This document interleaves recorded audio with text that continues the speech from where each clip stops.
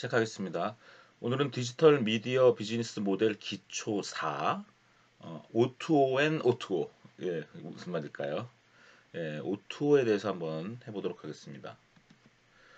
O2O는 online to offline의 약자죠. 근데 어, 또 한편으로는 offline to online이라고 또 우리가 생각도 할 수 있었습니다. 그래서 예, 지금 제가 제목에 O2O는 일반적으로 online to offline인데 오늘은 online to offline도 설명하고 제가 사실 그 벤처를 만들었던 그 벤플이 offline to online to offline과 offline to online을 했던 그런 사업 모델이기 때문에 그걸 좀 설명을 드리려고 합니다. 제가 이 제가 했던 내용을 좀 설명할까 말까 했었는데 어, 제가 당분간 이 디지털 미디어 경영을 자, 강의를 안 할 거예요. 어, 한 앞으로 1, 2년 안 할 건데 그래서 지금 하나 남겨 두는 것이 어, 좋겠다는 생각을 해서 어, 어, 하기로 했습니다. 일단 오토가 뭐냐? 어, 여기서는 어, online to offline이라고 해야 되겠네요. 어, 아예 엄격하게. 예. online to offline 예 이런 것이 이제 한국의 경우는 또는 뭐 미국의 경우도 있고 하지만 우버 같은 것들이 나오면서 일어난 일이었어요. 한국의 경우는 카카오 택시가 한 2014년 15년에 나오면서 그동안 택시는 길에서는 손을 손으로 붙잡는 거였는데 이제는 앱으로 붙잡기 시작한다는 거죠. 온라인에 온라인에서 연결된 앱으로 어, 온라인에서 불러서 오프라인의 택시를 어, 가져온다라는 것입니다. 결국 어, 사, 사람들이 사용자들한테는 발견 메커니즘이 되는 거죠. 카카오 택시를 쓰지 않는 사람보다는 카카오 택시를 쓰는 사람이 훨씬 택시를 빨리 발견한다는 것이에요. 그래서 여러분들께서 오토는 뭐냐? 그러면 아 일단 디스커버리 메커니즘 for consumer. 그럼 사업자는 택시 기사 입장에서는 카카오 택시에 연결되는 것이 안 되는 것보다 훨씬 낫다라는 거죠. 그래서 traffic generator가 된다는 겁니다. 이게 우리가 미디어의 기본적인 속성이죠. 무엇과 무엇을 연결하는 것이죠. 예, 미디어 초기에 강의 뭐예요? mediate 얘기하면서 미디어라는 것은 결국은 연결하는 것이다. 라는 것을 예, 예, 미디어 are means of reaching others. 근데 결국 인간의 관점에서는 확장되는 것이죠. 그래서 여러분 카카오 택시라는 앱을 사용하면서 나의 입이 택시기사님들 앞까지 확장돼서 택시를 부르는 거죠. 택시기사님들 입장에서는 귀가 귀가 확장되는 거예요. 그죠? 카카오 택시라는 것은 어떻게 보면 고객의 입의 확장. 고객이 택시를 손으로 불렀던 입으로 불렀던 불렀던 입의 확장이 되는 것이고요. 택시 기사 입장에서는 택시 기사는 고객의 콜 소리를 듣는 귀의 확장이죠. 그러니까 마샬 맥클루언의 어, 미디어의 정의에도 부합한다는 것입니다. 그죠?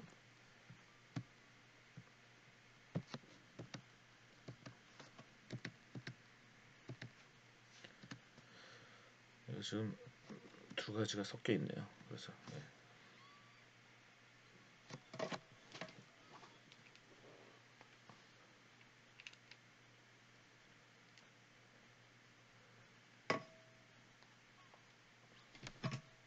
제가 오늘 좀 특이한 어, 그 시도를 하고 있어요.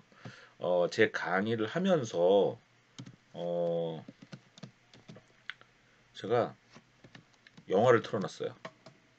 여러분들 영화 소리가 좀 들릴지도 몰라요. 근데 최하의 볼륨으로 있거든요. 그러니까 저로서는 지금 앞에 그 수강생들이 없기 때문에 상당히 좀 쓸쓸해요. 예. 쓸쓸하기 때문에 뭔가 이렇게 저의 그 어디에 갇혀 있는 느낌이 아니라 뭔가 저 사람들이 같이 어 있다라는 느낌을 위해서 한번 그렇게 해봤는데요. 예, 좀 전에 막 여성의 신음 어 저 비명 소리가 들, 렸는데 어, 웃는 소리. 지금은 이제 세르지오 레온의 Once Once Upon a Time in America를 제가 틀어놓고 지금 강의를 하고 있습니다. 제 눈이 거기서 잠깐 보일 수 있다라는 거죠. 눈이 이제 그걸 보이고 소리가 여러분들한테 아주 살짝 어, 들릴지도 모르겠습니다.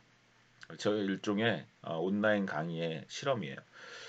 보세요 다시 어 그다음 그래서 카카오 택시의 경우에 25만 명의 택시 기사 중 70%가 가입을 했었고 2015년 당시 5천만 콜이 일어났다. 그다음 기사의 수입이 월 10에서 30만 원이 증가했다. 카카오 택시에 가입하는 바람에 우버 기사들도 마찬가지. 일반 택시 기사들보다 시간당 7, 8달러 더 벌게 된다. 왜? 사용자가 발견하게 해주고 그 다음에 그렇게 되니까 사업자에게는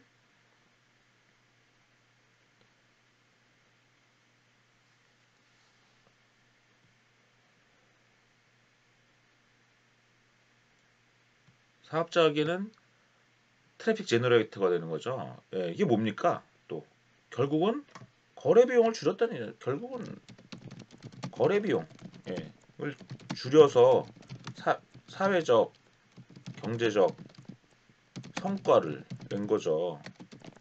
그죠? 거래 비용 뭐예요? 탐색 비용. 그죠? 서로가 서로를 탐색하는 비용이죠. 그 오투어는 서로가 서로를 탐색하는 비용을 줄이는 것이고요. 또 중요한 것은 이 플랫폼한테는 성과 측정 메커니즘이 된다는 것입니다.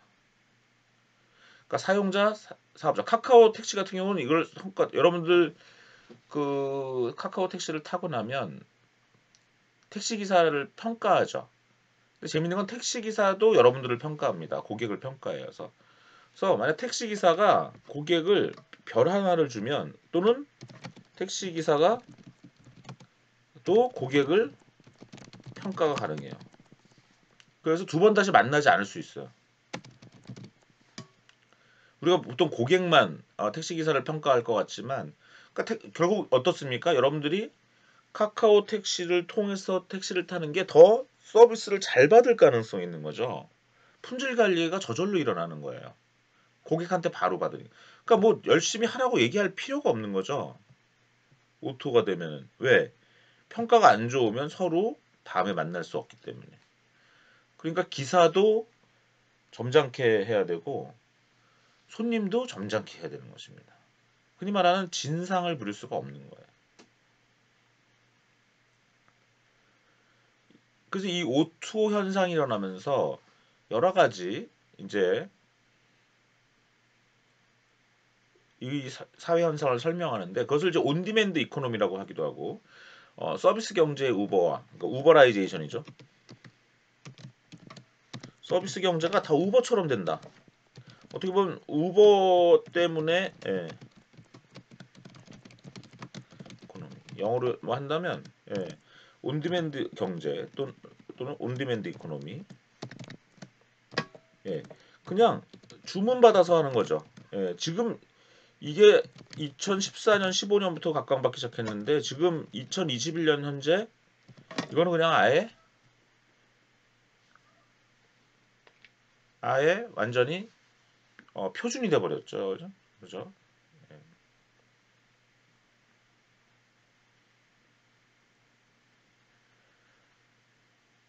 지금 그 영화에서는 어, 제가 좋아하는 배우 조페 씨가 나오고 있어요. 조페 씨가 왠지 저랑 닮은 것 같아. 영화 카지노에서도 나오고. 예. 어쨌든 어, 이 오토라는 것은 기술 회사가 상품과 서비스에 대한 고객 욕구를 즉각적으로 충족시켜 줌으로써 가능해지는 경제 생활이다. 그래서 세계 곳곳의 경제 활동을 혁명적으로 바꾸고 있습니다. 결국 COVID 19는 어떻게 됐어요? 그것이 증명이 돼 버렸죠. 예. 예. COVID 19으로 거의 결국 증명. 예. 예. 이제는 식당들이 코비드 19 상황에서는 이 오토를 안 하기가 안 할 수가 없는 거죠. 제가 굉장히 좋아하던 어, 마라 마라 음식 식당이 저기 종로에 있었는데 강남으로 갔어요. 가봤더니 너무 작아졌어요. 테이블이 두세 개밖에 없어. 그런데도 너무 좋은 게 너무 좋은 게 아니라 그 집이 그러면 장사를 못하느냐 그렇지가 않은 거예요. 엄청 온라인 주문을 받고 있더라고요. 오프라인에 있는 테이블은 3개밖에 안 돼서 식당이 되게 작아진 것 같지만 오히려 고객이 많은 온, 어, 강남으로 와서 거기서 작은 식당을 만들고 주문을 온라인으로 받고 있는 아주 스마트하게 사업을 하고 있는 거죠. 이런 것도 이제 O2O 전형적인 오프라인도 이거에 적응하는 거야 식당들도. 그 다음에 중요한 소비자들이 generation T 세대, 예, generation touch 세대, telephone phobia, telephone call을 싫어하는 예, 스마트폰 터치만 하려고 하는 스마트폰 터치만 하려고 하는 예, 결국 phono sapiens죠. 뭐 터치 세대 또는 결국은 어 포노사피엔스죠. 포노사피엔스. 포노사피엔스 세대들이 편리함, 속도, 단순함을 추구하는 그런 트렌드를 충족시키면서 on-demand 경제가 성장했다. 예. 오토의 사례들은 뭐 끝도 없이 많죠. 일단 배달의 민족. 예, 제가 링크도 안 만들었고요. 그죠? 오투잡. 예, 한번 제가 어, 되도록이면 링크를 하나씩 눌러가지고 사이트를 열어볼 텐데요. 예, 투잡을 뛰기 위해서. 그죠? 내가 하고 싶은 일을. 그죠? 예. 여러분들의 일을 판매하는 거야. 뭘 해주겠다라는 거죠. 그죠? 예. troubleshooting 시간당 5만 원. 예. 통역사 영한 한역 통역 서비스 시간당 5만 원. 예. 시간당 만 원. 여러 가지 일들을 오투잡에서 할 수 있게. 이런 것도 O2O라고 할 수 있는 거고요. 또 와이퍼 예, 대리 손세차 대리 손세차 세차장에 내가 가려고 하면 상당히 피곤해서 세차를 하긴 해야 되는데 예, 여자분들은 남자친구가 또는 남자 데이트 상대가 차가 깨끗하게 하고 나왔는지 안 나왔는지를 체크하세요. 어, 차를 좀 깨끗하게 하고 나온 친구들이 있다면 그거는 여러분들한테 꽤 신경 쓴 데이트를 하는 남자들이죠. 예, 그래서 오래된 여자친구를 만나더라도 남자들은 세차를 잘 하는 게 좋습니다. 예, 세차라는 건 어떻게 보면 굉장히 준비가 됐다는 거죠. 예, 물론 차가 없는 뭐 남녀들이 데이트도 할 수 있어요. 차가 있는 경우에 제가 말씀을 드리는데, 예, 이런 것들이 내가 세차장에 가려면 되게 복잡한데, 예, 기다리면 이제 그만. 내게 딱 맞는 세차 서비스. 방문 세차, 출장 세차, 배달 세차. 예? 24시간 예약으로 언제든지 간편하게. 어우 너무 좋다. 저도 그냥 동네에서만 세차하는데 사실 제가 오토를 많이 쓰는 사람은 아니에요. 예, 여러분들은 이게 그냥 생활이죠. 그래서 제가 이 오토를 강의를 해야 되나 싶기도 했습니다. 예, 와이퍼 또 조이워시. 예. 여러분들 이런 것들을 한번 쭉 보면서 도대체 어떠한 특징을 각각의 O2O들이 갖고 있는지 예, 전문가의 손길로 안 보이는 것을 깨끗하게. 아 이건 약간 어 이건 완전히 세차만 있는 게 아니네요. 홈클리닝, 홈케어, 출장 세차. 그죠? 예, 조이엔 조이엔 워시네요. 와이퍼는 딱 어, 여기는 아예 어, 세차로 자동차를 하는 걸로만 딱 된 곳이고요. 그죠? 그 다음에 애니맨. 예, 사람이 필요한 모든 일이 애니맨을 통해 연결. 여러분 그 일종 심부름 할 사람을 이제 부르는 거죠. 그죠? 근데 이제 어떤 비즈니스에 주로 있는지를 한번 볼 필요는 있을 거예요. 조금씩 지워가면서 하겠습니다. 나를 대신해 줄 사람은 애니메. 어 여성분이죠. 아 여성이 많이 고기, 고객이 되네 보다라는 걸 여러분들이 눈치챌 수가 있습니다. 예, 뭐 무거운 거 들어줄 사람, 그죠? 실시간으로 사람을 찾고 단계별 본인 인증. 예, 사람이 도와줘야 되니까 좀 불안하죠. 나쁜 사람이 오면 안 되니까. 예, 예,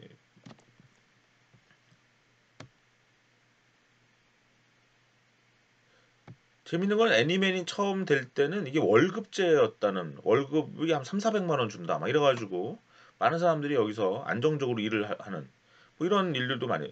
축의금 전달 배달이 안 되는 맛집 한정판 굿즈를 사다 주는 거 대형마트에서 장 받아 주는 거 그죠? 예. 가구 조립 조명 교체 이런 거 할 사람 부르는 거죠. 작정 집안일도 걱정 없이 해결 무거운 물건도 문제없이 이동 할 일은 많고 몸은 하나인데 중고 거래 해줘야 되고 어머니 대신 해줘야 되고 돌봄. 매장에 급해서 알바가 필요한데. 예 그죠? 이걸 모르는 것보다 아는 게 훨씬 낫다는 거야. 미소. 이제는 뭐 누를 필요도 없어. 믿을 수 있는 가사 도우미. 이사 청소 가전 청소. 그죠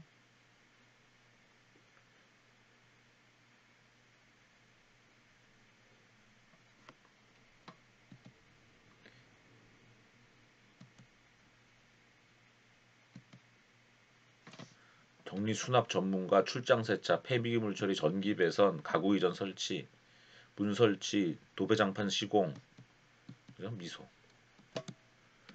없는 게 없는 거죠. 그 다음에 예, 탈잉 탈잉은 뭡니까?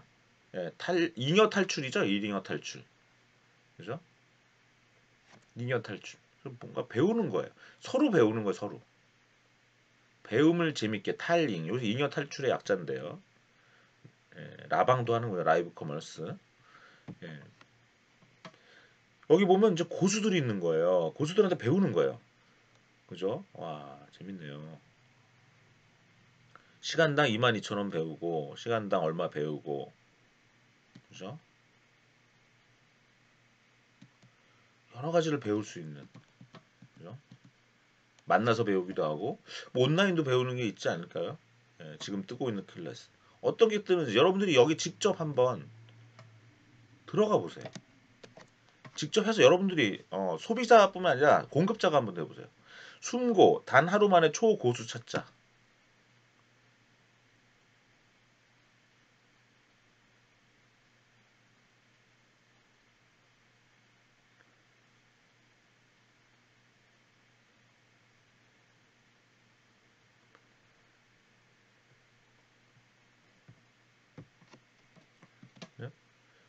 영어 과외, personal training, 집 인테리어. 우리 지역의 숨은 고수를 찾아가지고 우리 동네에서 배우는 거예요.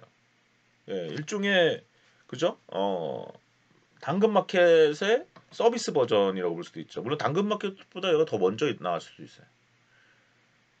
엄청난 많은 그런 일들이 들어있는 거죠. 이런 것들이 다 오토죠. 전국의 숨은 고수를 찾는 거예요. 예. 그죠?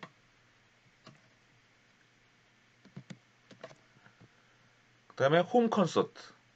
예, 클래식 음악 전공한 그런 분들 좀 어렵게 사는 분도 있단 말이에요. 음, 그런 분들 그죠? 여러 가지 연주를 해주, 해줄 수 있는 거죠. 예, 초중고 연주, 가정 연주, 각종. 아, 내가 무슨 우리 좋은 이벤트에 연주하는 분을 좀 부르고 싶은데 친구 클래식 음- 음악 하는 친구 불렀다가 너무 적게 줘도 섭섭하고 약간 그런 거죠. 차라리 그냥 여기서 연결해 가지고 연주를 어 내가 있는 공간으로 와서 하- 하게끔 그죠? 예. 짐카 예 이건 뭐예요? 이사인데 이삿짐을 하는데 이삿짐을 상당히 어 명확하게 차의 크기라든가 짐을 들어줄 건지 안 들을 건지 몇 명이 올 건지 예, 특히 1인 가구 예, 그래서 견적을 정확하게 해서 나중에 분쟁의 소지를 없애는 그런 데서 큰 어, value가 있었다고 합니다.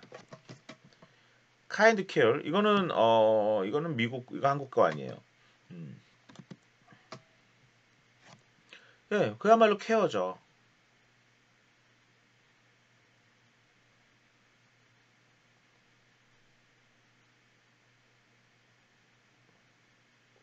느리게 뜨네요. 예. 그다음에 어, 병원 약국을 연결하는 오투오 닥닥 똑딱 예, 똑딱이군요 이게 예, DDO DDOC DOC 굿딱 이건 내 주변 병원이나 약국 찾기. 예. 카인드 케어는 아직도 안 떴네. 예. 굿딱. 예. 어떤 동네, 예. 어떤 병원을 찾냐. 예. 테마별로, 증상별로. 예. 저도 병원 갈 일이 좀 있는 것 같은데, 예. 예. 진짜 어느 병원을 가야 될지 모르겠는 거예요. 예. It's home care reimagined. 예. hire and manage your caregivers directly. 그죠? 네, 이렇게 뭐 노인 돌봄 하는 돌봄이 같은 그런 느낌이 오네요. 그죠? 예. 어, 노인 돌봄을 어떻게 할 것인가. 예. 예.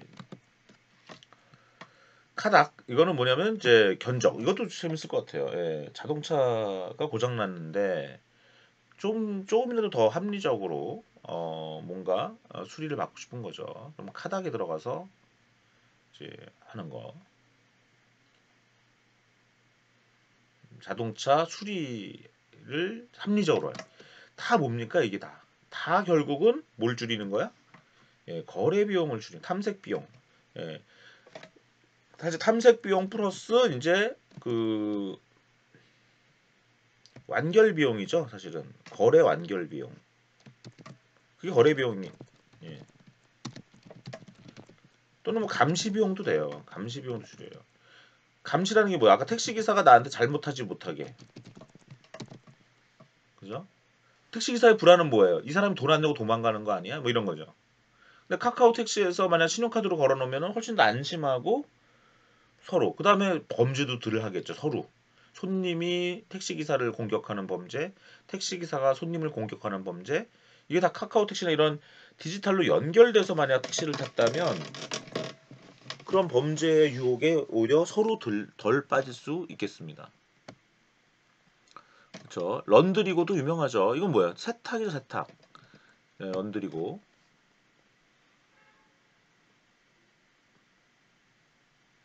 세탁소를 빨래 없는 생활. 그러니까 집에 세탁기를 놓지 않고 그 다음에 내가 굳이 세탁소에 갈 필요도 없는 거예요. 예, 빨래는 그냥 런드리고 맡기라는 거예요. 예, 잠들기 전에 내놓으면 하루 만에 빨래 끝. 예, 요, 요 말의 한마디로 어, 이해가 되는 거죠. 스트라이프스 이것도 재밌죠.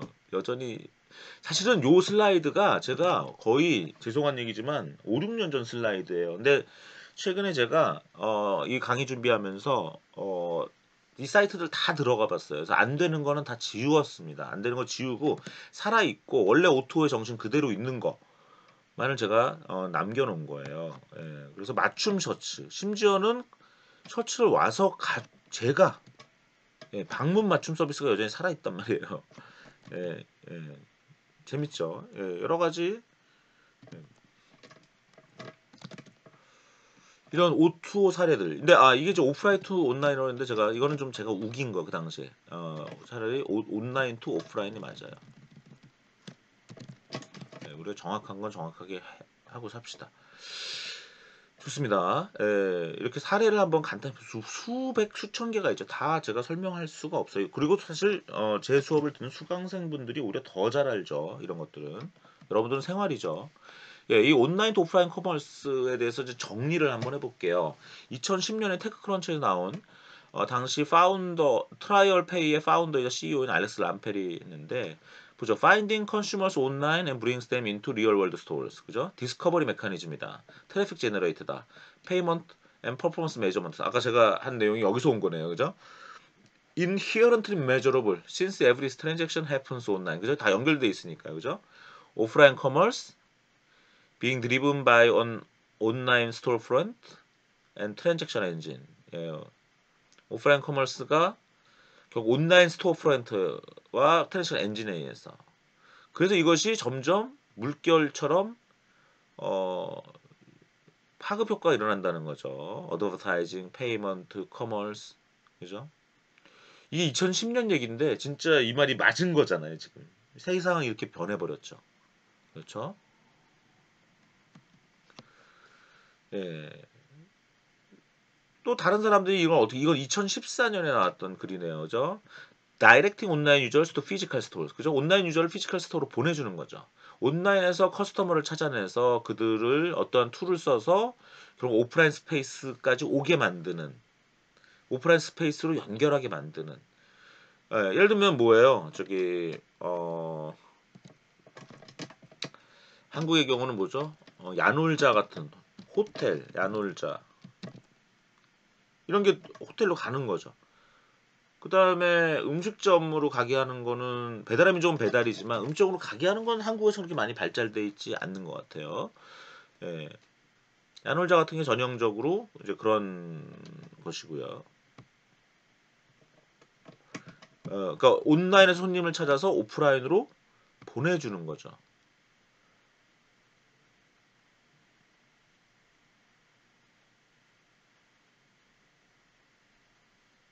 결국 이러한 스마트 모바일에 따라서 그 다음에 어 요건 또 재밌는데 여기 사실 요게 오프라인 또 온라인적 요소로 제가 이거 아마 표시 표시해 놓은 것 같아요 제가 예.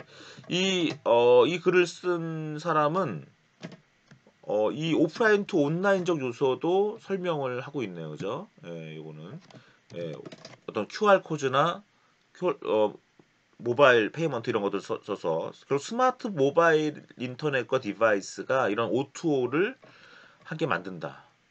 그리고 텐센트의 founder인 포니마는 O2O는 오, retail이나 이런 것만이 아니라 앞으로 culture, healthcare, finance, telecom, many other industry의 큰 기회다.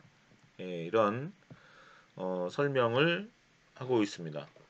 예, 참이 텐센트가 이러한 오토에 일찍 주목했기 때문에 거대한 세계 지금 10대 기업으로 성장할 수 있었던 거죠.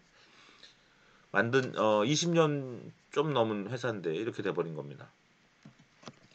예, 아까 온디맨드 이 코노미라는 표현을 썼는데, 아, 그 다음에 아까 우버, 우버라이제이션 또는 우버리피케이션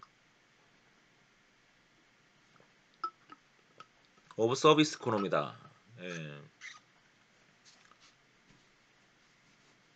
결국 예,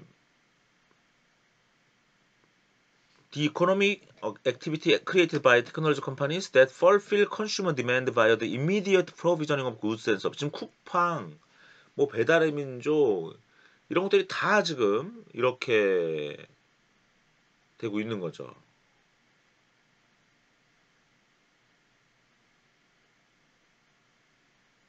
그죠?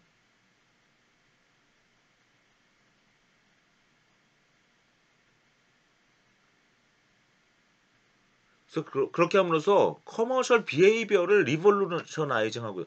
2014년에 이미 이렇게 revolution이 일어나고 있는데 지금 2021년 현재는 이것이 완전히 현실화되어 있다는 걸 여러분들이 느낄 겁니다. 그죠? 음. 그럼 지금 지금 미래를 얘기하는 사람들의 어떤 말을 믿어야 될까 이런 고민이 되겠죠. 그죠? 앞으로 그죠? Supply is driven via an efficient, intuitive digital mesh layered on top of existing infrastructural networks. 예, 뭐 이렇게 이제 여러 설명 얘기를 하는 것이고요. consumer들이 결국 greater convenience, greater speed, greater simplicity를 원하니까 예, 이걸로 그냥 게임이 끝나버린 거예요. 그죠? 예, 그러네요.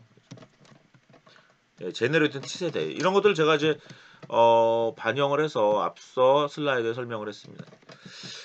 제가 이렇게 이제 그 붐이 O2O 붐이 있을 때 저는 어떤 서비스를 어, 회사에서 제가 뱀플이라는 회사를 창업을 했고 그 회사에서 뭘 했었냐면 뱀플 G라는 걸 했었어요. 이거 뭐냐면 문화 채널 새로운 문화 채널이나 우리가 제가 그 당시에 뭐 제가 아니라 저희 회사에서 이렇게 했던 거고 어 생활 심미주의를 추구했어요. 그래서 더 나은 삶과 사회 추구와 실현에 있어 어, 우리가 더 나은 삶, 사, 삶을 살려면 어, 문화예술, 지적 체험 필요하다. 그래서 우리는 이게 먹는 거 이런 거 안 한 거예요. 뭐 모텔 가고 호텔 가고 이런 거 안 한 거예요. 뭐 세탁, 배달 이런 걸 안 하고 좀 멋져 보이는 거 했어요. 그죠? 예. 문화, 예술, 지적 체험만 했어요. 여기 보면 뭐 디디다, 무대륙, 제비다방 아 이거 제가 얘기하면 안 되는데 제가 정말 좋아하는 카페입니다. 가끔 저, 저 여기서 만날지도 몰라요. 예, 우리 만나지 맙시다. 어, 그 다음에 갤러리, 라이브 카페, 복합 문화 공간. 우리가 잘 모를 수 있죠. 이런 거를 안내해 주는 거예요. 양화진 책방. 제가 참 많이 갔던 책방이 어, 아직도 있나? 그 다음에 어 제가 정말 좋아하는 화가 이쾌대. 예, 2015년 7월이었구나. 예. 아, 그 이슬라이가 남아 있으니까 제가 그때 이쾌대 전시를 갔던 그 기억이 지금 새록새록 하네요. 저 감격스럽습니다. 예. 아, 어, 저희가 했던 갤러리가 뒤에 설명하겠지만 연희 갤러리에서 지금 세계 방이라는 어, 전시를 하고 있는 것까지 뭐냐면 전시회도 나오는 거예요. 전시. 그러니까 이런 공연장. 어, 잔다리 페스타가 열리고 있었군요, 당시에. 어, 너무 추억에 졌습니다. 그러니까 좋은 장소, 이런 문화예술 장소와 이벤트를 소개하는 그러한 O2O 서비스였어요. 제가 당시에 어, 2014년 12월에 제주도를 갔는데요. 4박 5일을 갔어요. 근데요, 12월 크리스마스 때였거든요. 그러니 해가 얼마나 일찍 져요. 그럼 12월 제주도의 저녁을 잘 보내는 방법이 뭘까? 해가 5시면, 5시면 지는데, 뭐 계속 술만 먹고 이럴 수는 없잖아요. 예. 뭔가 건설적인 방법이 없을까? 어떻게 제가 열심히 그냥 검색할 수밖에 없었어요. 제주, 서귀포, 서귀포에서 잤거든요. 서귀포 관련 중문에 잤을 거야, 아마 그 당시에. 서, 제주, 서귀포 관련 최근 뉴스를 다 검색했더니, 어, 너무 대단한 게, 이런 이벤트들이 있는 걸 알아냈어요. 남원읍 하례에는 꿈꾸는 고물상이라는 곳에서 이벤트를 하고, 그 다음에 서귀포 시내 이중섭 거리 아시죠? 거기 문화배터리 충전소라는 곳에 갔는데, 이 사토 유키가 누구냐면 산울림이라는 밴드를 리메이크한 곱창전골이라는 일본 사람들이 만든 밴드인데 거기에 그 리더 리더였거든요. 사토 유키의 공연을 한다는 거예요. 어 그리고 소울 트레인의 공연을 한다는 거예요. 그 다음에 애월읍 봉성에서는 제주도 조화라는 곳에서 어 글쎄 그 위대한 가수 조동진 돌아가셨죠. 그 동생 조동희가 강의를 하고 아 강의를 공연을 하고 진성은 씨가 공연을 한다는 거. 이거는 사실 페이스북에 친구가 알려줬다. 이거는 후, 후배가 아마도 아 아니다. 이걸로 했더니 이, 심지어는 제주 시내에 있는 게스페이스라는 멋진 공연장에서 이효리 씨의 남편 이상순이 제주도 첫 공연을 하는 데다가 더더군다나 이규호 씨, 이규호라는 또 가수를 제가 몰랐는데 이분 공연도 너무 좋았거든요. 재밌는 거는 제가 이 제주도 가는 비행기를 타러 가는 제주도 갈 때까지는 비행기 도착할 때까지 전혀 몰랐다는 거예요. 이걸 다 계획하고 간 게 아니라는 거예요. 그래서 이거는 제가 세렌디피티 여행이다. 네, 제가 이거 페이스북이나 원래 신문 언론에서 뭐 써달라고 그래서 한번 썼던 글인데 이거를 이제 어, 제 페이스북에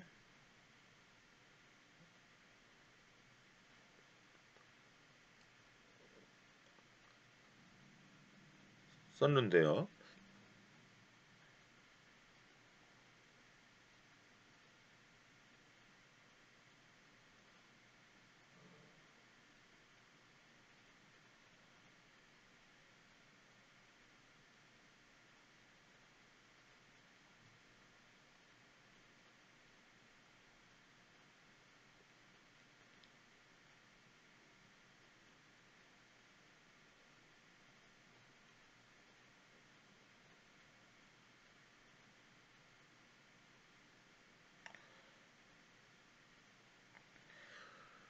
그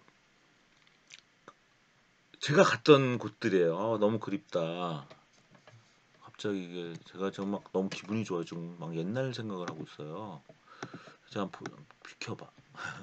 여기가 지금 여기가 게스페이스 제주도 게스페이스 이상순일 거예요. 이효리 씨 남편. 그다음에 이게 이규호 씨. 이거 다 제가 찍은 사진이에요. 그다음 비치코밍이라는 제주도 조화라는 곳에 어서 있었던 공연 여기 조동희 씨가 공연을 했어요. 그다음에 이 꿈꾸는 고물상 그죠? 여기 뭐지? 예. 아 문화배터리 충전소 사토 유키 공연장 장면이 이게 여기가 소울 트레인 공연이다 지금 사, 토 유키 어떻게 제가 제주도 4박 5일 갔는데 너무 행복했던 것이 지난 크리스마스 시즌 제주 4박 5일 여행은 제주도에 가야 할 이유를 하나 더 만들어준 행운의 여행이었다라는 거예요. 제주여행 비행기에서는 전혀 예상하지 못했던 그런 경험을 하는 거예요. 낮에는 그날 아침에 기분에 따라 여유 있게 아침을 먹고 첫 코스를 결정했어요. 두 번째 코스는 첫 코스가 끝나고 결정했어요. 첫 코스가가 아니라 첫 코스 가 끝나고. 어우 또 오타 완전 보기 싫다 그죠? 근데 와 이거 첫 코스 가 완전 보, 보이니까 완전 보기 싫은데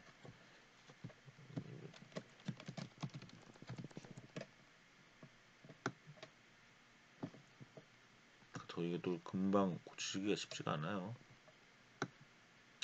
그럴 필요 없을까요? 아, 죄송합니다. 이왕 이왕 했으니 뭐 네. 첫 코스 가 근데 글씨가 너무 이제 이번에는 이제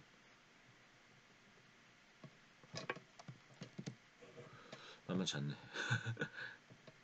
으.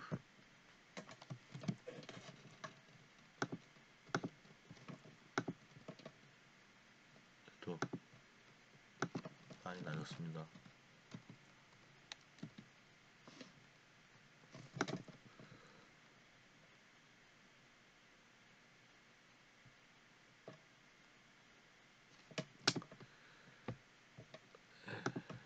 죄송합니다.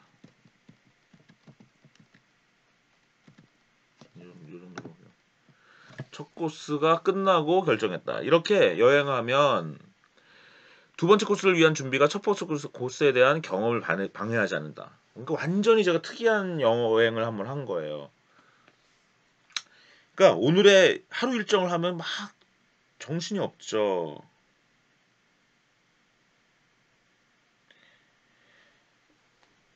그 그래서 여행에서의 까르페 디엠이다. 예. 두 번째 코스를 위한 준비가 첫 번째 코스에 대한 경험을 반영하지 않았다는 거죠. 그리고 저녁은 제주의 자연보다는 제주의 문화예술을 찾아다닌 거예요. 그 역시 운 좋은 발견의 연속이었다. 제주의 재발견이자 제주를 최소 두 배로 즐기는 방법이었다라는 거죠.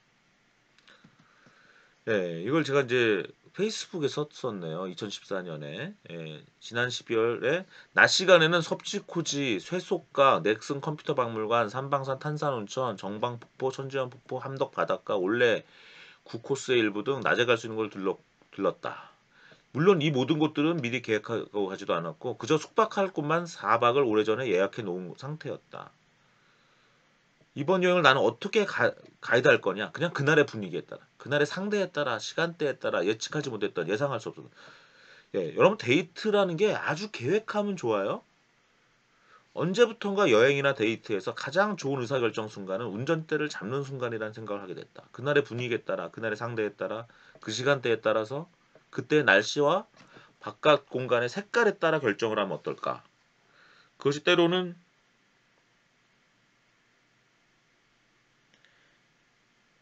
그것이 때로는 어떤 여행과 데이트를 망칠 수 있지만 그죠? 여행에서 내가 늘 가이드로만 행동하는 것은 내가 즐기지 못하게 된다. 그죠? 나에게 serendipity가 없는 여행과 데이트는 나를 지치고 지루하게 할 것이므로 나도 예측하지 못했던 여행, 나도 예상할 수 없었던 장소와 이벤트를 꿈, 늘 꿈꾼다. 이렇게 한번 멋지게 한번 써봤네요. 예, 제가 20년 전 25 벌써 26년 전에 1995년에 몬트리올에서 열린 세계 인공지능 학회 참석했을 때는 참석하고 그 다음에 토론토랑 나이아가라, 캘거리, 밴프, 빅토리아, 밴쿠버로 이어진 여행을 했는데 그 당시에 이미 미리 여러 권의 캐나다 여행책을 섭렵하고 구글과 네이버도 없던 시절이기 때문에 검색 서비스 그런 시절의 검색 서비스로 야후나 뭐 알타비스타 정도 있던 시절에 다음도 없을 때예요 이때는 예. 인터넷 정보를 겨우 찾아 미리 인수해 놓고 하루하루의 상세한 일정과 숙박 일정 관광 정보를 일일이 기록했죠. 2005년에는 어땠어? 드레드 드레스덴은 독일 드레스덴에서 열린 어, 지인 사업가의 결혼식에 초청받아서 2박의 결혼 파티를 치른 후 드레스덴에서 2시간 거리인 체코의 프라하, 바그너 축제의 본 곳인 바이로이트, 게반트 하우스 오케스트라의 라이프치히, 도자기 마을 마이센, 레지덴츠 궁전에 있는 뷔츠, 뷔르츠부르크, 비스바덴, 라인강의 로렐라이 언덕, 프랑크푸르트를 섭렵하기 위해서 한길사의 여행책 등 여러 책을 미리 공부할 수밖에 없었다는 그, 그 당시에 인터넷은요 호텔 안에 들어가야 와이파이를 얻어야 겨우 쓸 수 있었고 이동 중에는 인터넷에 도움을 받을 수 없었기 때문에 미리 많은 것을 고정해야지만 여행이 가능한 상황이었다. 그- 물론 전화로 요- 로밍을 하고 가면 여행책에 나온 호텔이나 식당 등 이동 중에 전화를 해서 예약하는 정도가 가능. 지금 25년 전의 관광, 20년 전이 아니라 이제 25년 전, 26년 전의 관광, 20, 17년 전의 관광이 16년 전의 관광이 이랬다는 거예요. 그죠? 근데 지금은 이제 스마트 시대에서 그렇지 않다라는 거죠. 그죠? 그러면 뭐야? 이제는 serendipity 관광이 돼야 된다는 거야. 그래서 이 뱀플지라는 앱을 만들었던 거예요. 와 여기 저기 저 되게 좋아요. 경주 가면 여기 한국 대중문화 박물관 저 꼭 가는데 경주를 가서도 저희가 그 당시에 이 뱀플지를 이용해서 엄청 여러 가지 어 재미있는 여러 어 세렌디피티로 여러 군데 간 거죠. 바실라도 보고 혼자수 미술관도 가고 예, 수, 이게 좀 이게 제가 이 슬라이드가 다 있는 건가? 오랜만에 찾아볼까요? 있나 본데. 보세요. 바실라 우아양미술관 예, 그렇죠? 이게 다 경주에 이 모든 것들 이게 지금 뱀풀지에 있었던 경주의 장소들인 거예요. 그죠? 예, 다. 그중에서 한국 대중박물관 좋았고요. 또 몇 군데 제가 좋아하는 데가 있는데 경주 타워 뭐 나뱃, 예, 나뱃이었어요. 예, 혼자 주미술관 괜찮았어요. 예, 이런 식으로 우리가 이 뱀풀지라는 것이 이러한 어떤 일들을 할 수 있지 않았나 저는 그렇게 생각을 합니다. 예. 그러니까 어디선가 여행을 가서 문화 예술을 같이 즐기는 거죠. 그죠? 음, 지적 체험, 문화 예술적 체험만 에, 제주도 가서 자연만 볼 게 아니라 예. 그래서 어떤 이런 디렉토리 서비스가 아닌 serendipity curation이 없는 서비스가 아닌 curation을 좀 어, 봤던 거고요. 의식주나 경제적 혜택을 얘기하는 어떤 것들보다는 어, 문화예술 쪽을나 지식을 좀 추구했고요. IoT를 결합하는 것이 이제 뱀플지의 어떤 O2O 모델이었다고 보시면 되겠습니다.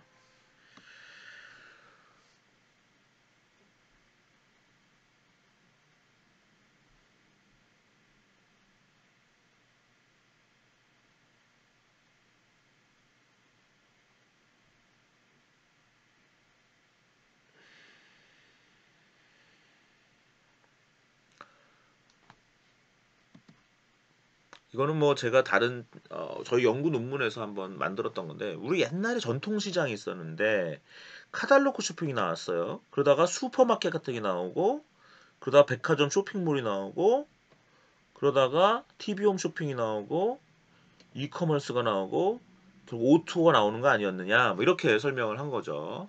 그러니까 오투어엔 그냥 여기서 그냥 너무 IoT 베이스 이런 표현을 쓰는 것보다는 이제는 그냥 오투어라고 하는 게 나을 것 같아요.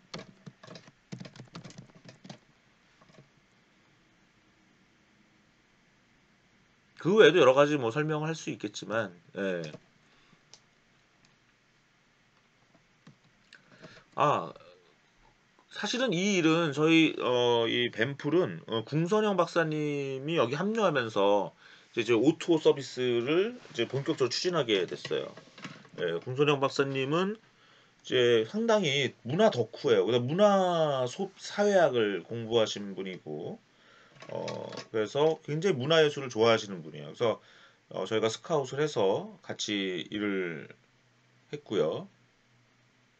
물론 뭐 한국에서 제일 유명한 미스 코리아 진이기도 했죠. 어.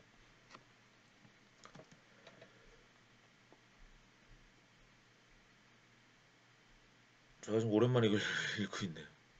예, 이경전 대표는 궁 CCO를 가르켜 CCO를 하셨어요. Chief Content Officer라는 직책을 제가 드렸고 어, 시- 어, 궁선영 CCO는 문화 덕후다. 예, 바쁜 일정 중에도 일주일에 한 번은 공연 관람을 빼놓지 않는다.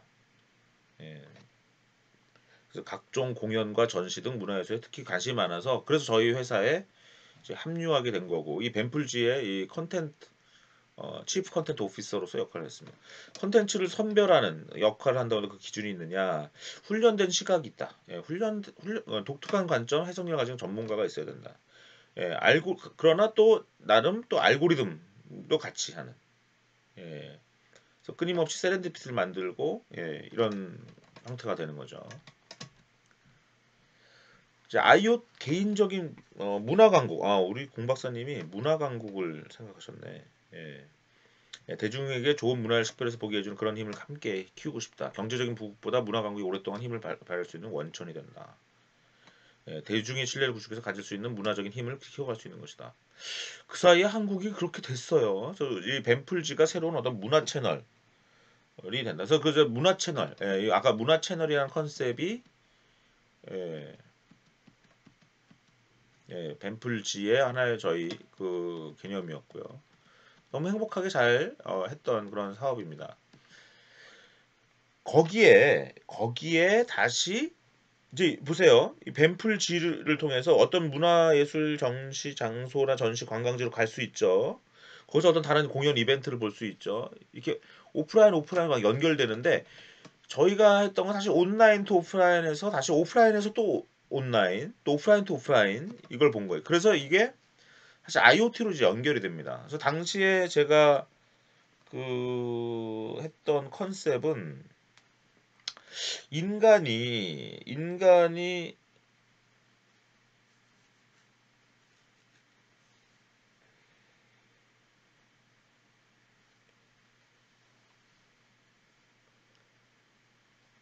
인간이 주로 처음에는 도구 없이 몸과 몸으로만 활동했죠. 아까 예, 인간의 확장 인, 제가 뭐라 했어요? 처음에 인간은 미디어 없이 어, 행동했단 말이죠.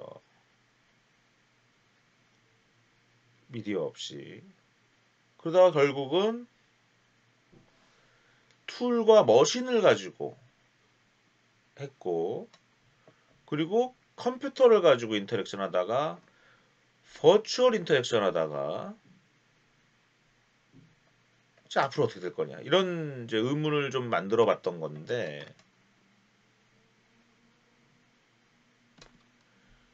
그것이 이제 smart interaction with real 스마트폰으로 interaction하는 그 새로운 연결, 새로운 인간 상호작용이 일어나고 실세계와 스마트하게 상호작용한다. 결국 비즈니스 모델은 온라인과 오프라인이 결합되고 상호작용은 스마트하게 기술은 IoT가 아니냐 이렇게 이제 본 거죠. 지금은 지금은 조금 달라져. 이게 이제 IoT가 IoT와 AI 특히 AI 비중이 더 커졌어요.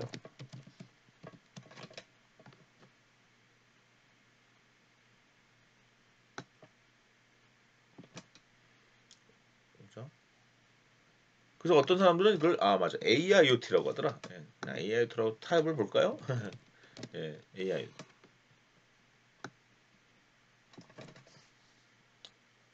AI, IoT, Artificial Intelligence of Things 이것도 괜찮겠네, 그죠? 예, 오케이. 그래서 smart interaction with real world라는 표현을 제가 좀 썼었어요. 이, 어떻게 보면 여기에다 그걸 집어넣은 거죠. 예, 그래서 여기가 이 정답을 사실은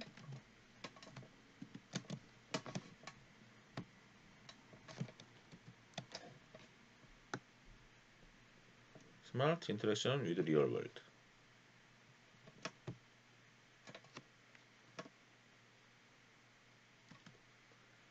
그래서 제가 그 만든 회사가 벤플이 국립중앙박물관에 이제 최초로 어 그러니까 뭐 그 전에 갤러리 전시에서도 적용을 하긴 했지만 예, 국립중앙박물관에 이런 최초로 이런 시스템을 집어넣었죠. 그래서 여기 NFC 태그를 터치하면 어, 여기 에 like도 할 수 있고 댓글을 다는 거예요. 생각해 보면 아직도 이런 것이 많이 안 되고 있죠. 좀 음, 어떻게 보면 제가 잘못 생각했는지도 모르겠어요. 저는 오프라인 공간에서 많은 사람들이 그런 것들을 하게 될 거라고 생각했어요. 이런 smart interaction 어, with real world를 하기로 할 것이라고 생각했는데 은근 은근 활동 안 하는 거예요. 네, 그 그것이 어떻게 보면 이 벤플이라는 회사가 지금 약간 소강 상태에 있는 그런 이유도 되겠습니다. 거기 거기다가 이 벤플은 계속 그 이런 smart interaction real world with real world의 기술을 계속 탐색하는 회사였어요. 첨단을 달리는 회사였죠. 처음에는 NFC 태그를 썼지만 중간에 또 beacon을 사용했고 나중엔 결국 버튼을 개발했습니다. 그리고 QR 코드. 지금은 어때요? 여전히 QR QR 코드가 저는 QR 코드를 좀 불편하게 생각했어요. 그 불편해서 들 쓰죠 아직도. 그런데 저는 이것을 편의성의 관점에서 이렇게 늘어날 거라고 생각 가설을 가졌던 거죠. 근데 꼭 이 CEO가 어, 제 생각 CEO인 저 생각대로 세상이 돌아가 주면 모든 사람이 돈을 벌겠죠. 그죠? 예. 어쨌든 이런 모색을 했고요.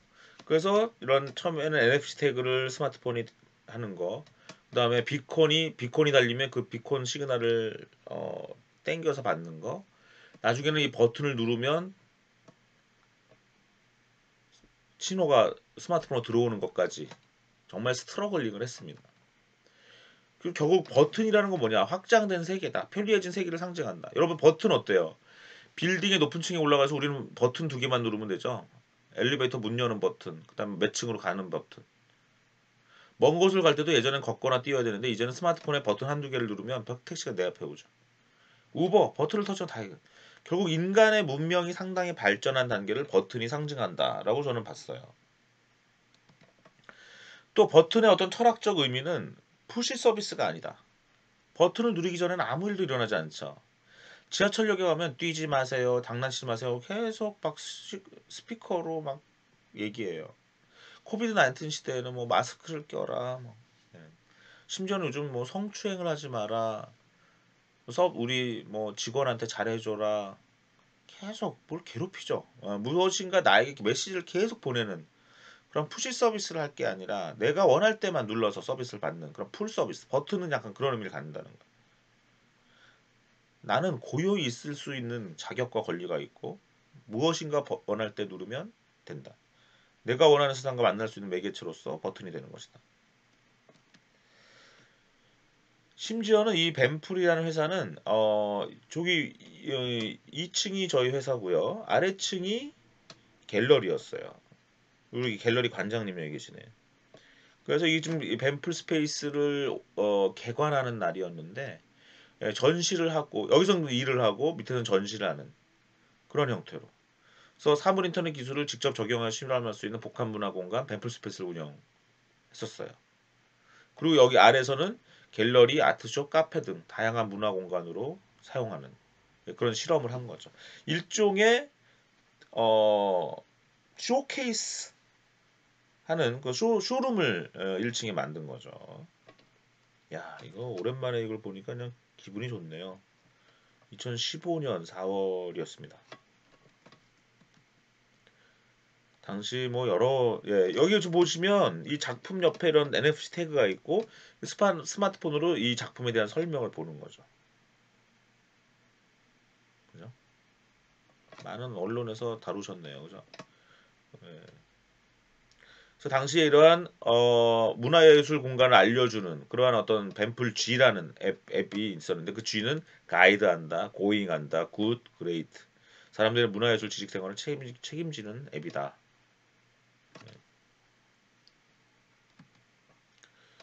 예. 문화예술 지식 너무 너무 좀 고상한 얘기를 했나? 그죠? 그냥 저 배달의 민족처럼 음식 배달이나 했어야 되나요? 예. 궁선영 박사님 얘기도 여기 또 나오네요. 그래서 사실은 이 online to offline, offline to online을 결합하는 비즈니스 모델을 우리가 갖는다라고 생각을 했었어요. 아, 여기 태그와 beacon이지만 나중에는 버튼까지 했던 거죠. 버튼 여기 넣어야겠다. 이 사업이 왜 성공했냐 실패했냐 뭐 이런 얘기는 또 나, 어, 나중에 또 할 수가 있겠지만 일단은 여러분들한테 어떤 이런 비즈니스 모델이 있었다라는 정도로 어, 일단은 말씀을 드려야 될 것 같아요. 예. 주, 요즘 뱀풀은 주로 어, AI 쪽 어, 일을 하고 있습니다. beacons and button. 그래서 이런 것이 real-time online offline cross media service다. 아, 뭐 거창하게 여러분들 뭐 사업이라는 게 거창하게 뭐 자꾸 이름 붙일 필요 없어요. 돈을 버는 게 최고입니다.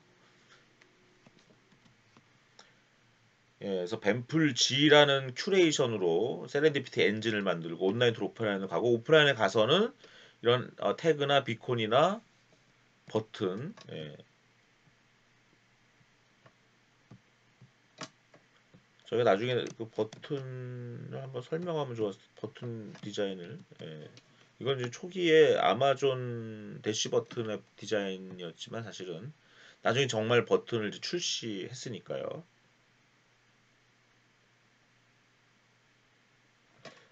뒤에 한 군데라도 있나? 없는 것 같아요. 예, 나중에 나올 겁니다. 예. 그리고 그런데 당시에 또 2017년에는 어떠한 트렌드들이 있었냐면은 어떤 트렌드들이 있었냐면 어 이 말을 걸지 않는 뭐죠? 언택트 그 지금 코비드 19 시대에서는 이 언택트가 예, 뭐 표준이 돼 버렸는데 무언 접객 서비스. 운전사가 먼저 말 걸지 않은 침묵 택시. 종업원 어반 리서치는 아예 이제 옷가게에서 손님이 말을 걸, 안 거는 거예요 계속. 예, 이런 것들을 우리 손님이 좋아한다. 결국 이런 어떤 트렌드에 맞지 않느냐. 예, 무인 계산대. 이런 예, 이런 언택트 현상이 이런 것이 나중에 이제 언택트라는 이름으로 불리우게 되죠. 사실 언택트라는 말이 그 당시엔 없었어요, 아예. 예. 여러분들 인터넷 검색해 보시면 예, 언택트란 말이 언제쯤부터 나오는지 이 언택트 현상이 일어나기 시작하는 겁니다. 그죠? 물론 이 언택트란 말은 약간 어, 콩글리시예요. 예, 서양 사람들이 예, 영어 하는 사람들을 보면 좀 우습 우습게 생각을 합니다. 그래서 뭐, 뭐 이제 콩글리시. 그래서 당시 제가 썼던 글이 이제 온라인 사업의 DNA가 실세계로 침투하고 있습니다. 예. 온라인이 오프라인화가 되고 가상 공간의 경계가 사라지고 있다. 어떻게 보면 이게 지금 메타버스 아니에요? 예. 예, 여기서 제가 cyber space 개념을 이제 비판을 하고 있네요. 그죠? 그래서 결국은 당시 벤플은 삼성전자의 이 디지털 플라자의 버튼 인터넷 서비스를 하고 있었어요. 그래서 이런 무원 접객 서비스, 대면 조촉에 부담이 없는 스마트한 소송, 소, 소통. 예, 혼자 볼게요 바구니가 있고 도와주세요 바구니가 있는 이런 어떤 이런 마술처럼 스마트하고 지속 가능한 소통하기 어, 검색을 한번 해볼까요? 한번 읽어볼까요? 오랜만에 마술처럼 마 술처럼 스마트한 소통 이경전 한국 경제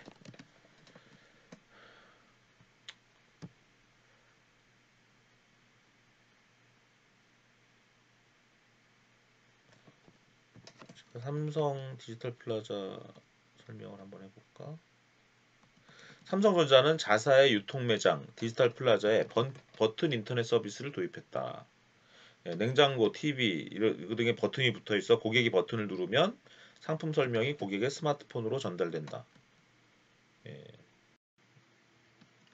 뭐 이런 서비스들인데요.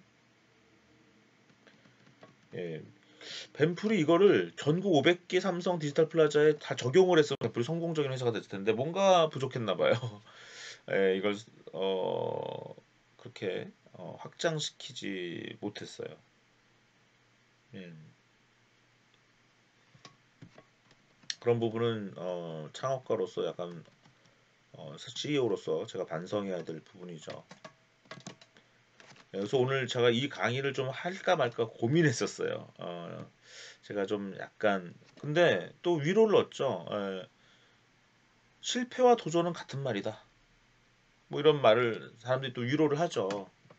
예, 도전하지 않은 사람이 어떻게 실패가 있겠어요. 그죠? 예.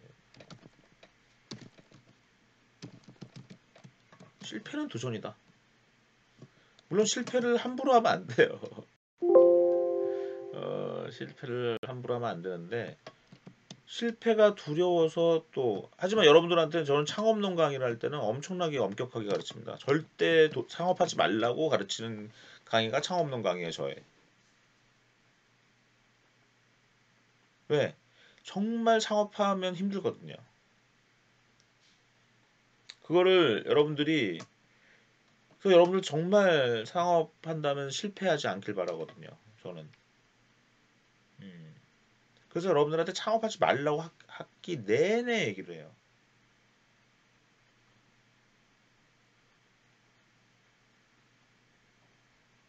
네네. 그래도 창업하려면 해라. 그래도.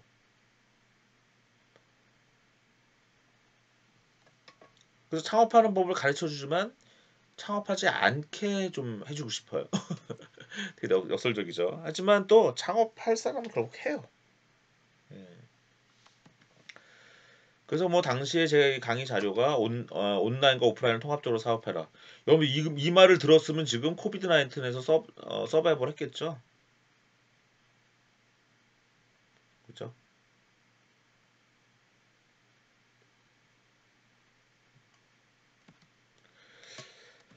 제가 어 메타버스라는 용어에 대해서 설명한 적이 있는데 저는 메타버스는 일반적으로 위키피디아 수준에서는 가상, 초월과 세계, 우주의 합성어로 3차원 가상 세계를 뜻하고 보다, 구, 보다 구체적으로는 정치, 경제, 사회, 문화의 전반적 측면에서 현실과 비현실 모두 공존할 수 있는 생활형, 게임형, 가상세계라는 의미로 폭넓게 사용된다. 이렇게 설명을 하는데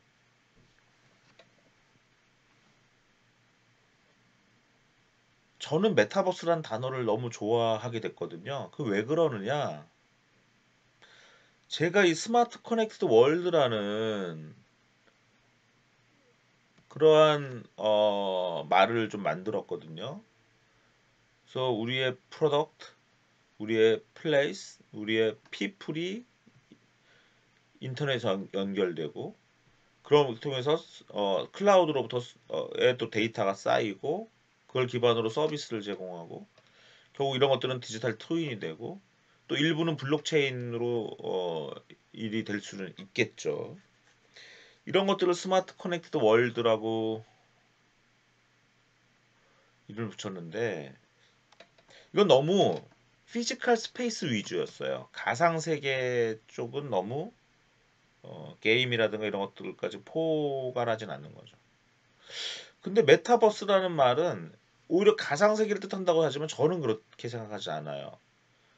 어, 모든 거를 이 용어 자체가 메타버스니까 우리 우리의 세계, 우리의 모, 어, 물리적 세계도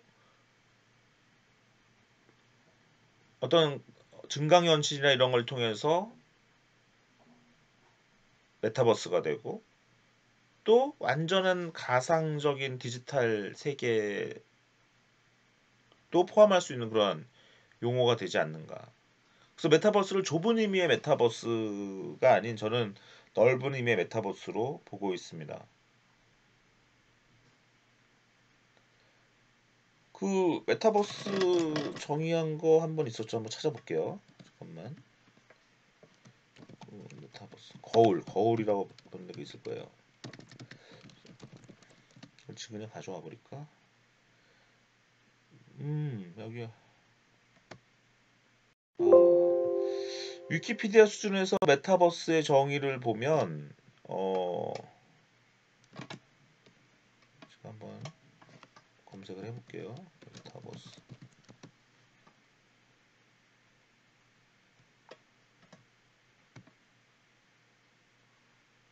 위키피디아는 늘 바뀌기 때문에 강의에 사용하지는 사실 않는 것이 좋은데요. 여기 보면 메타버스의 네 가지 유형이 나오잖아요. 이거를 한번 이게 그동안 없었네. 제 강의 자료에 저는 강의 자료 당연히 넣은 줄 알았었는데 예, 그러면 이거를 제가 지금 아예 만들게요. 메타버스 내가 지금 그냥 그냥 아예 이렇게 만든다면 지금 제가 지금 마지막 오늘 강의의 마지막 부분을 하고 있는데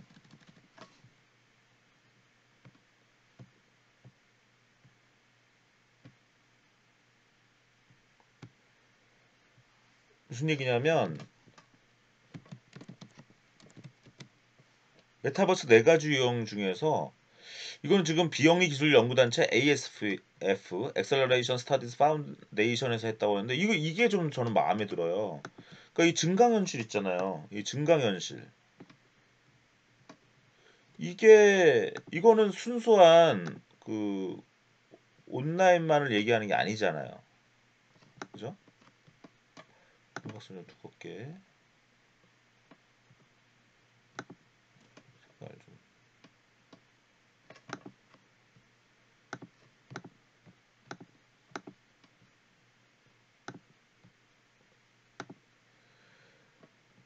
그러니까 어떻게 보면은 이 증강현실이 들어가게 되면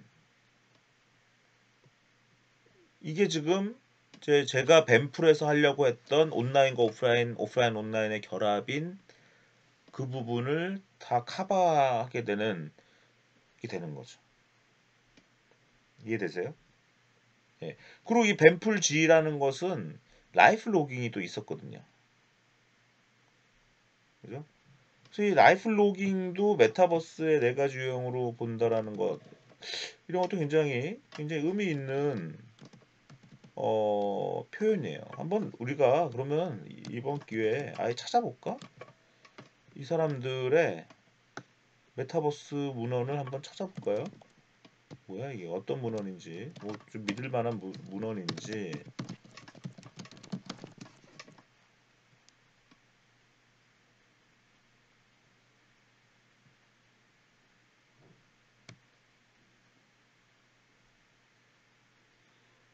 뭔가 바로 뜨진 않아요 지금. 음.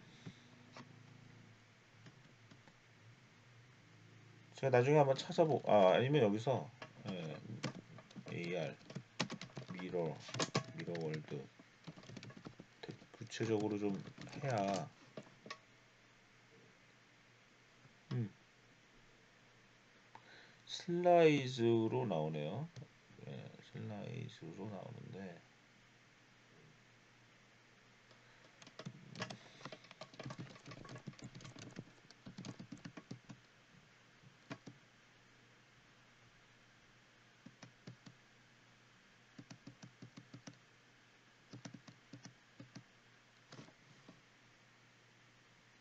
비디오네 이거는 그죠?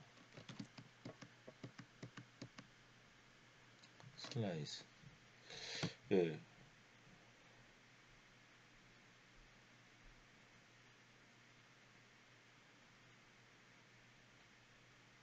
(2009년) 자료네요 그죠 (2009년) 자료고 음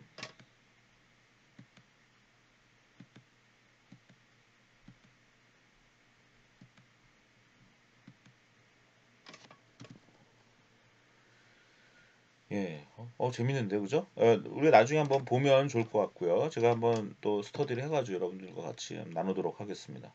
예, 그래서 저는 오늘 약간 IoT적인 것도 좀 들어가고 어, O2O를 얘기했는데 O2O를 O2O and O2O online to offline, offline to online 제가 둘 다 설명이 된다라고 하면서 음, 오히려 제가 얘기했던 smart connect world보다 더 나은 표현인 듯 예, 또는 인간의 확장, 세계 확장이라는 걸 한마디로 할 수 있을 듯 뭐 이렇게 얘기를 했어요. 왜? Why? Just 메타버스니까. 이 meta란 말이 맞다는. 왜? universe라는 우리 현재 우리의 universe가 메타버스가 되는 거죠. 예. 예 포괄적인 어떤 단어인 것 같아요. 메타버스를 한 번 더 어, 얘기할 때 제가 좀 얘기하도록 하겠습니다. 제가 이제 버튼 터치 하트로 마무리를 하려고 하는데 제가 쓴 책 버튼 터치 하트가 사실은 제가 이 뱀프를 창업하고 거의 10년 가까이 그 뱀프를 창업하기 전에 한 2005년 6년부터 연구했던 것이 2010년에 창업을 하고 이, 노- 이 책이 나온 거 2018년 가을인데 이렇게까지 했던 것을 집대성한 어떠한 책이에요. 예, 그래서 아직 안 읽어보신 분은 어, 읽어보시고 어, 토론을 하면 좋겠고요. 이 책의 원래 제목을 사실은 인간의 확장, 세계의 확장이라고 하려고 했어요. 아, 저는 예, 어떤 예, 이게 더 저는 점잖고 어 이게 더 좋다고 생각했는데 출판사들은 좀 더 상업적인 제목을 좀 하고 싶어 하긴 합니다. 예, 그렇고요. 예, 그래서 이 안에 보면 이제 에어컨의 확장이라는 개념이 있는데 예, 에어컨이 지금 눈이 달려서 카메라가 달려서 사람이 있으면 찬바람을 쏘고 사람이 없으면 어, 찬바람 안 쏠 수 있다라는 거죠. 이렇게 되면 에어컨은 더 이상 눈먼 기계가 아니고 인공지능 기술에 의해서 시력을 얻었고 그- 결국 에어컨이 확장되는 거예요. 그럼 에어컨의 확장은 인간의 확장은 아니더라는 거죠. 그래서 이제 이 버튼 터치 하트에서는 미디어를 인간의 확장뿐만 아닌 세계의 확장, 사물의 확장으로 설명하는 것이고 이제는 마샬 맥쿨런이 내린 미디어의 정의가 변해야 할 시점이 된다. 저는 마샬 맥쿨런을 엄청 존경하지만 마샬 맥쿨런을 계승하면서 동시에 또 극복하는 그러한 좀 욕심나는 책을 어, 전종호 박사와 이 벤풀에 아주 오랫동안 같이 일했던 예, 전종호 박사와 이제 같이 쓴 책이다 이렇게 보시면 되겠습니다. 예, 오늘 여기까지 하겠습니다. 어, 오랜만에 저도 음, 어, 이런 부분들을 강의를 한 것 같아요. 예, 예, 끝까지 경청해 주셔서 감사합니다.